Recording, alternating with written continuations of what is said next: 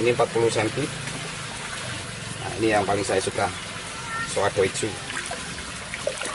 oh ini kalau ini diputus sini ya. Sering sering. Wah mantap ini. Aku ini masih ori.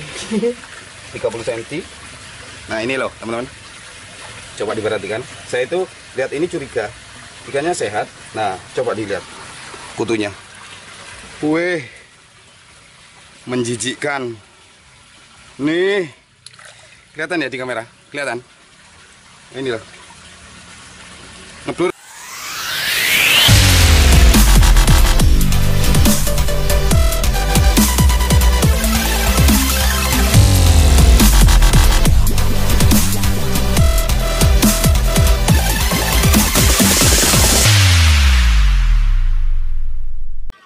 Assalamualaikum warahmatullahi wabarakatuh Sahabat-sahabat velover Di mana pun Anda berada Jangan lupa selalu jaga kesehatan Bersama keluarga. Hari ini Saya tidak review Tidak review harga ikan koi Tapi hari ini Saya eh, berbagi tips Untuk Ikan-ikan koi kesayangan saya. Mudah-mudahan bisa bermanfaat Dan barangkali ada kasus yang sama. Uh, Jadi eh, saya ikan-ikan jumbo. Ikan-ikan jumbo saya ini eh, badannya sudah besar-besar eh, bodinya montok-montok kayak saya ini. Kayak saya ini. Dan di sisi lain ada ikan yang kurus. Eh, kurus banget. Eh, nanti eh, teman-teman biar tahu barangkali ada eh, mengalami kasus yang hal yang serupa gitu ya. Untuk teman-teman yang baru ketemu channel ini Bu Riko Channel jangan lupa like dan subscribe agar tidak ketinggalan notifikasi video-video terbaru dari saya. Uh, bentar lagi ikannya saya jaring. Saya kasih tahu kenapa ikan ini kurus dan uh, apakah ini bahaya gitu. Nanti dijelaskan uh, waktu ada ikannya aja. Gitu ya teman-teman. Ikannya sudah saya jaring ini. Sendirian saya tak siapkan dulu gitu untuk masalah pengiriman teman-teman jadi saya mohon maaf banget. Saya belum sempat ke tempat pengiriman eh, agen pengiriman eh, travel pengiriman. Eh, ongkir-ongkirnya berapa? Kalau dari eh, patokannya kalau dari Blitar ke Jakarta ke mana? Itu eh, belum sempat saya review ke sana. Dan saya belum kontak owner dari travelnya gitu. Untuk pengiriman ikan sendiri kalau free ongkir saya belum pernah menggunakan free ongkir. E, kalau penjual seorang penjual penjual ikan koi terus free ongkir itu bebas. Kalau saya itu enggak. Soalnya e, banyak yang nonton itu di luar pulau juga ada. Jadi kalau free ongkir kebanyakan kalau penjual koi itu free ongkir Jawa Bali enggak masalah gitu loh. Jadi tergantung kebijakan dari uh, penjual itu sendiri. Uh, kalau di tempat saya, kalau saya review, saya uh, konten saya ini cuma uh, membuat atau menginformasikan review harga ikan koi. Untuk selebihnya uh, deal atau tidak deal terserah teman-teman kepada salah satu penjual yang saya liput gitu. Setelah saya keluar dari konten itu sudah tidak ada urusan lagi sama uh, si penjual koi itu sendiri gitu jadi bijaklah untuk memilih ikan koi atau e, penawaran itu bebas terserah. Jangan menawar di konten YouTube gitu. Jadi e, sifatnya YouTube ini e, hanya informasi. Untuk transaksinya langsung ke ownernya. Mudah-mudahan apa yang saya sampaikan ini teman-teman paham ya tidak tanya lagi. Itu kalau untuk masalah ongkos kirim saya itu e, apa ya menurut saya itu beda beda beda beda ya apa ya beda apa? Ya beda lah pokoknya. Pokoknya beda. Uh, ada travel sendiri ada penjual koi sendiri. Uh, saya menganggap penjual koi itu sangat mulia itu dia itu wis pokoknya mulia banget lah menurut di pandangan saya itu mulia banget gitu. Jadi untuk teman-teman juga harus bijak memilih uh, calon calon penjual koi sendiri gitu. Uh, selama yang saya review insya Allah sudah sudah lolos karantina dan yang tidak tak saya review saya tidak tahu gitu loh. Gitu ya teman-teman. Jadi eh, yang saya review saya juga membantu ikan ini layak saya buat konten atau tidak gitu loh. Maksudnya dari kesehatannya. Kalau masalah mahal enggaknya itu eh, yang menentukan deal enggak dealnya kan eh, teman-teman sendiri gitu loh. Jadi eh, kalau setelah deal ikannya mahal itu sudah sudah menurut saya itu bukan urusan saya gitu. Kalau eh, teman-teman beli di salah satu yang tempat saya liput terus sudah deal eh, terus ikannya nyampe sana trouble itu sudah bukan urusan saya. Gitu teman-teman. Yang saya liput itu ikan-ikan yang masuk di di konten saya itu itu saya sudah membantu teman-teman eh, ikan yang sudah layak kesehatannya. Intinya seperti itu. Sepaham saya gitu. Eh, kalau kalau ikannya nyampe di teman di teman-teman di rumahnya teman-teman itu ada yang mati itu sudah bukan urusan saya lagi teman-teman. Jadi saya itu hanya mem- membantu menginformasikan eh di sini loh ada tempat ikan koi murah. Eh di situ loh ada koi bagus cuma gitu. Gitu ya teman-teman. Eh, wes mudah-mudahan eh, video kali ini bisa bermanfaat. Dan saya itu tidak eh, membuat konten free ongkir. Saya itu kasihan lihat-lihat sebagian dari teman-teman yang jauh dari kampung mau ke kota. Kalau saya review free ongkir kasihan yang pam-pam jauh dari kota ke stasiun eh, gitu ya. Gitu loh teman-teman. Udah untuk urusan harga selanjutnya di di konten saya itu ya segitu. Eh, kalau mau ditawar ditawar aja enggak apa-apa. Urusan deal nggak deal itu bukan urusan saya lagi oke? Yuk ikutin video sampai selesai. Oke teman-teman, yang ini air bersih yang dari sumur, yang ini filtrasi itu luberannya, gitu. Jadi air ini karena chambernya itu ndak ada tutupnya, jadi masih terkena air hujan, gitu loh. Air ini masih masih terkena air hujan. Nah, air hujan itu bisa menyebabkan sering terjadi eh, apa ya sering terjadi banyak kutu kuro. Gitu loh.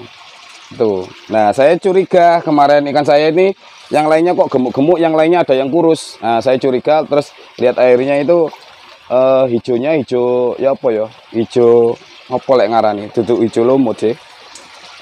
Itu loh. Yuk kita lihat ini ikan ini. Sudah saya siapkan tak jaring soalnya sendirian saya. Nah wuh ikan nih jen kau wasit kesit nah saya itu juga tidak banyak loh teman-teman. Nah ikan-ikan besar itu punya saya sendiri itu enggak enggak banyak. Duh awas miknya ceblok ih. Yang satu mic saya itu ini loh eh, ceblok ke air. Nah. Ini tak siapkan dulu ya ikannya teman-teman. Ini ada kujaku. Kujaku 4 step. Si tak nunggu airnya banyak dulu ternyata luar biasa gue ceblok miku ini.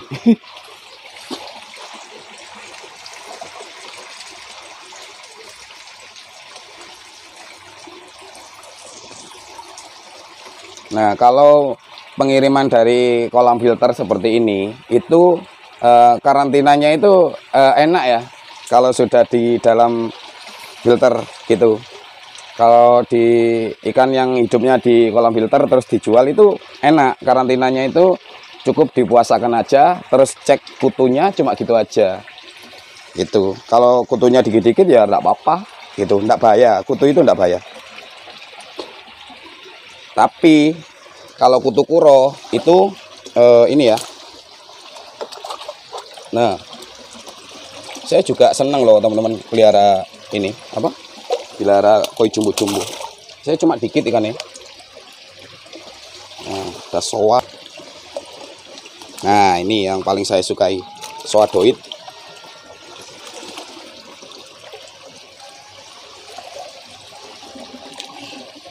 Nah, ini. Oke, eh, sini cukup ya. Sini cukup ya, Bu Cameramen. Di situ aja. Nah, tak bawa ke sana biar kelihatan jelas ya. Si kurang air.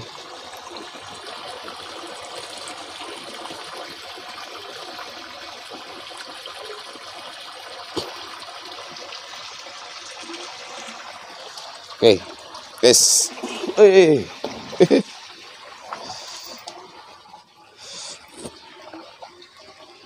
Oke, teman-teman. Sini yuk, sini sini sini. Nah, biar kelihatan jelas. Nah, ini kan bodinya kan montok-montok ya, kayak kayak saya. ini bodinya montok-montok. Ini size berapa ini? Size 40 eh sudah naik 3 cm loh ini. Baru berapa bulan? 43 cm yang soanya 45 cm yang sankenya ini 38 cm nah ini kujaku. Ini bukan gosiki ya. Nah karena ada hikarinya hikarinya tebel banget ini. Ini pejantan. Ini kujaku. Ini 40 cm nah ini yang paling saya suka. Soadoichu. Wow, ini kalau ini diputus sini ya. Sering, sering. Wah, mantap ya. Aku ini masih ori. 30 cm. Nah, ini loh, teman-teman. Coba diperhatikan. Saya itu lihat ini curiga. Ikannya sehat. Nah, coba dilihat kutunya. Weh. Menjijikkan. Nih. Kelihatan ya di kamera? kelihatan oh, ini loh ngeblur apa enggak ini kamera? Enggak nah ini menjijikkan. Oh kutu jarum sama kutu kuro. Nah juga sama. Sama ini. Di sirip-siripnya ini. Tuh kelihatan tuh tuh teman-teman. Yo. Nah ini eh, berpengaruh kepada pertumbuhan. Gitu. Nah ini saya 45 soai. Ini uh, betina, ini pejantan, ini betina, ini pejantan, ini betina, ini pejantan, ini pejantan. Yo, dieling sendiri yo. Betina, betina, pejantan, pejantan, betina, pejantan, pejantan. Berarti betina yang piro Siji loro. Nah, tiga betina, empat pejantan. Gitu. Nah, ini loh. Mantap toh, ringnya rapi. Wow, ikannya pulpi. Uh, saya itu sukanya ini, ringnya rapi, uh, tak pelihara sendiri. Gitu. Yang dari Mas Naem Sowa itu ada di Kediri, di rumah Kediri. Nah, ini bagus tuh, 4 step. Wow, mantap ya. Ini kujaku, bukan gosiki. Sisiknya atasnya kalau lihat dari atas itu kayak gosiki. Nah, kalau kita lihat sirip ini hikari. Nah, berarti ini kujaku. Ngono ya, teman-teman. Nah, ini Taiso Sanke. Sanke ini, Sanke bodinya montok kayak aku. Aku montok bodinya, tapi montok ke depan. nah, ini ya. Kayak gini kualitasnya. Seperti ini, teman-teman. Nah, ini semua kena kalau satu ikan kena eh, cenderung indikasi semua pasti kena semua. Kena ini loh, apa? Oh, kayak gini loh. Waduh, getembel full nemblok-nemblok sampai ini. Nah, cara penanganannya kalau ikan gini, kalau diambil satu-satu bisa, dicabutin bisa. Nah, kalau saya, kalau ikannya tujuh seperti ini, kolamnya eman airnya sudah jadi, saya kasih obat. Biasanya untuk obatnya saya ini kasih dimilin.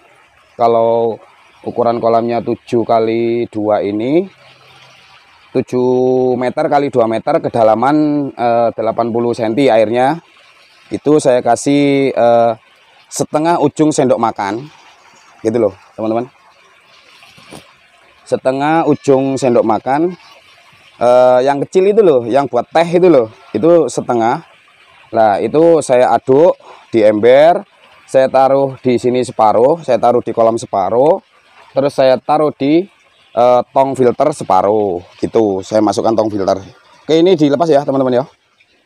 Jadi kayak gini. Ini diinget-inget ini cewek ini cewek ini cowok ini cewek ini cewek tiga cowok empat. Nah ini loh mantep ini jantan ini.